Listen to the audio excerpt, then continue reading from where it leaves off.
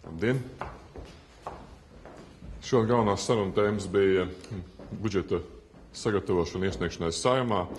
Tāpat diezgan lielu laiku un uzmanību mēs veltījām pārunām, kā veicās ar programmas sagatavošanu mikro uzņēmumu atbalstam. Un kā parādīja arī vizītes manas gan apē, alūksnē un kuldīgā, tad šis ir jautājums, kas tiešām interesē iedzīvotājs. Iedzīvotāji, lai sagatavot darba vietas paši sev un sev apkārtnē dzīvojošiem, tiešām gaida šo atbalsta paketi, likuma atbalsta paketi maziem mikro uzņēmumiem. Esam atvērti jūsu jautājumiem. Dēnis, lūdzu. Joprojām mums vajadzīgs Latvijas institūts turpmāko darbību un nākotnē. Ja tos 50 tūkstoši to ārlietu ministrija definēs kā absolūti nepieciešamos, neatrod, nu, neizdos atrast, kā jūs skatāties, vai ārlietu ministrija pārņemot šīs funkcijas, mēs saglabājam pilnvērtīgu ārējo komunikāciju valdības lēmumiem, vai tas vispār ir pieļaujams? Latvijas institūts ir pierādījis, ka tas ir ļoti labs instruments eh, Latvijas ārpolitikas veikšanai. Un ir ļoti saprātīgi, ka tas ir ārlietu ministrijas eh, paspārnē. Un kā man teica tikko ministra prezidents, tad ārlietu ministrija ir saņēmusi papildus 1,9 miljonus latus ārlietu funkcijas veikšanai. Un es domāju, ka tur nauda Latvijas institūtam atradīsies tādā apmērā, lai tas varētu veikt savas veiks, tikpat veiksmīgi savas funkcijas tālāk. Ārlietu ministrs gan saka, ka šī nav tikai mums palīdzēs nesēt konsulāts un arī vēstniecības, un Latvijas institūtam šīs finansējums vēl aizvien nav.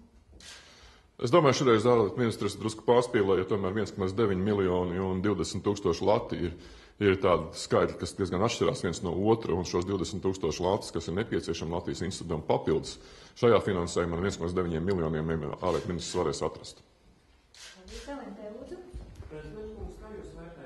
Domas priekšstādātāju vakar izvairīšanos runāt par Latvijas okupāciju?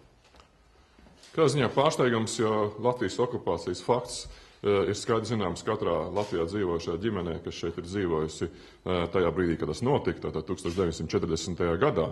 Un šo faktu starptautiski ir rakstiski ir atzinušas 29 valstis. Fakts ir acīm redzams, tā kā viņš nav apspriežams. Vai, tāds pats skatījums uz vēsturi kā esošajam Rīgas mēram? Protams, viss ir vēlētāju rokās, bet katrā ziņā to uh, politiķi, kas kandidē uz uh, amatiem gan saimā, gan arī valdībā, jā, politiski uzskata par Latvijas vēsturi būtu skaidri jāzina katram vēlētājam. TV5, lūdzu.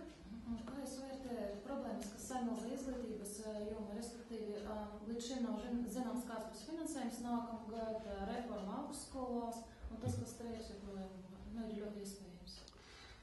Katrā ziņā neziņa parasti ir tā, kas rada satraukumu, un arī, arī šis streiks varbūt ir viens no tām satraukuma izpausmēm, bet, protams, tas ir arī izpausme, kā paust savu viedokli. Bet precīzāk no animēs noteikti atbildēs ministra prezidents. Jo es domāju, ka šī atkal viena iespēja, lai skaidri pateiktu, ka budžets jau ir gandrīz galīgajās aprasēs valdībā, kas tad sagaida izglītības sistēmu kopumā, kāds finansējums paredzēts tā un tieši kas paredzēts ar augstāko izglītību. Dēnis, lūdzu. Par Andrus Čēles lēmumu atgriezties aktīvajā politikā, kā skatāties, vai bažas par Latviju devalvāciju un arī viņa personības ietekmes koalīcijas attiecībām, vai tam ir pamats? Es jūs to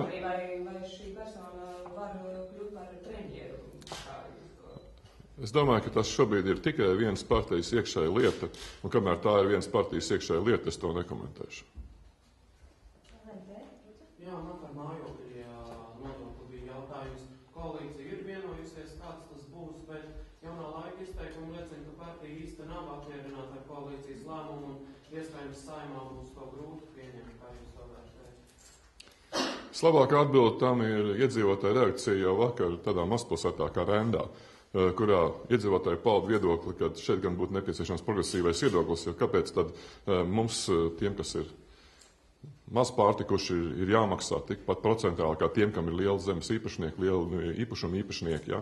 Tad faktiski iedzīvotāji pauda savu neapmierinātību, ka šeit nav piemērota progresīvā likme.